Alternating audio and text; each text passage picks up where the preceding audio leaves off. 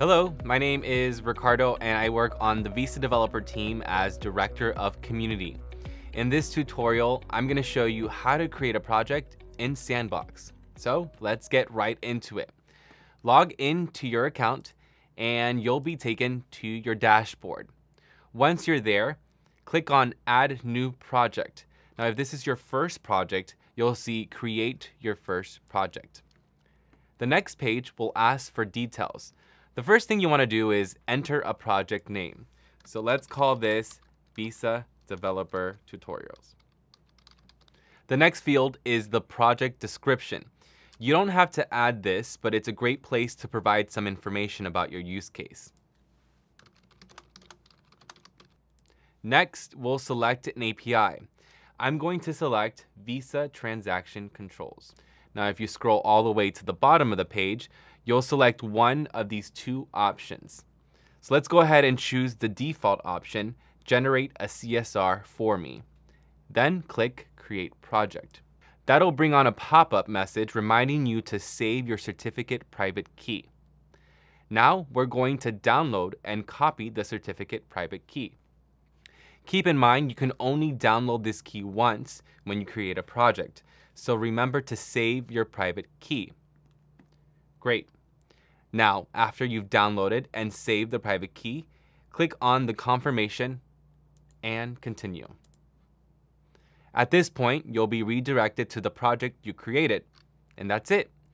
Now, if you want to learn more about the summary of APIs in your project, just click on this drop-down menu and you'll see the full list right here.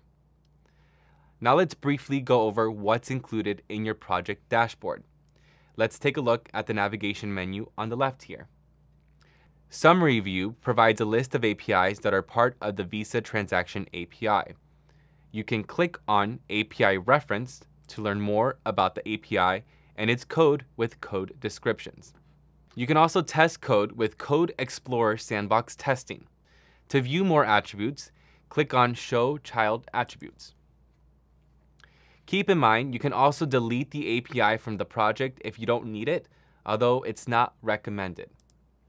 By the way, you'll also have an option to add an API that works well with Visa transaction controls simply by adding API in the top right. So what about credentials? The credentials include the user ID and password. This is used in SOAP UI. If credentials are expired, refer to the support page for information. Now let's take a look at test data. First, it's important to know that when you create a test app in our sandbox, you'll receive test data in your project dashboard.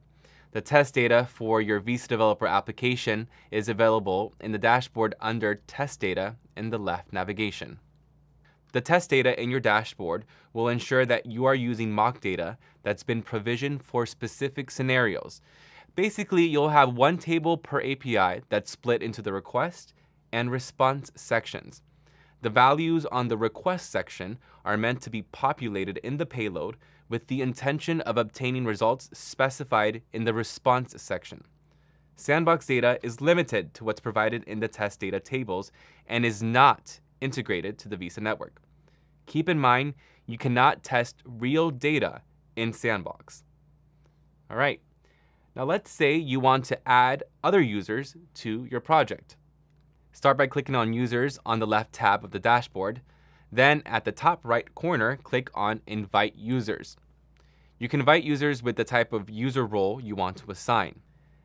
The user I've invited to the project will now receive an email prompt to log into the dashboard and accept the invitation. That's it. The user is now invited to your project. And finally, you can find sample code in your app dashboard, like here, for example, PHP sample code. And that wraps it up for this tutorial. If you need additional guidance about anything we've covered, you can visit our community page anytime to ask questions or contact us directly at developer at visa.com. In the meantime, be sure to check out the other tutorials in our Visa Developer series. Thanks for watching.